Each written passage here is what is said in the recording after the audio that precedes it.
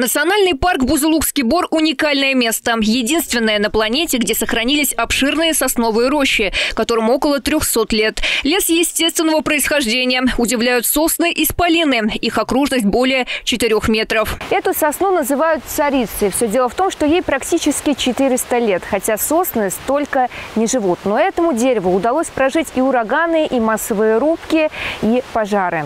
Сейчас высота дерева 33 метра. Сегодня делают все, чтобы его сохранить. В Бузулукском бару растут и липы, клены, дубы. Наблюдать сегодня именно такую картину было бы невозможно без работы ученых в конце 19-го, начале 20 века. Работали как э, фундаментальные исследования проводили, так и прикладные.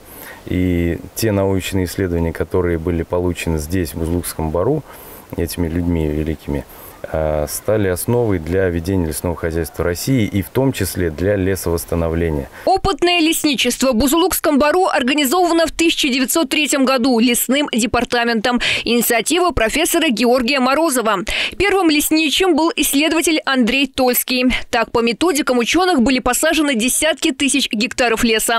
Этим лесным посадкам 50-70 лет. Они выращены по тем самым разработкам. Помогали восстановить леса от пожаров, но огонь может быть не единственной угрозой деревьям. Огромный исполин, дуб, который рос здесь и погиб в э, в конкурентной борьбе против сосен.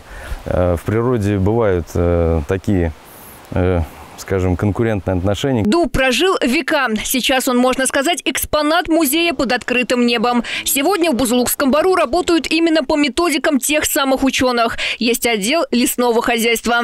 Он занимается мониторингом, разработкой проектов по лесовосстановлению. Проводятся санитарно-оздоровительные мероприятия. Например, где необходимо, досаживают деревья.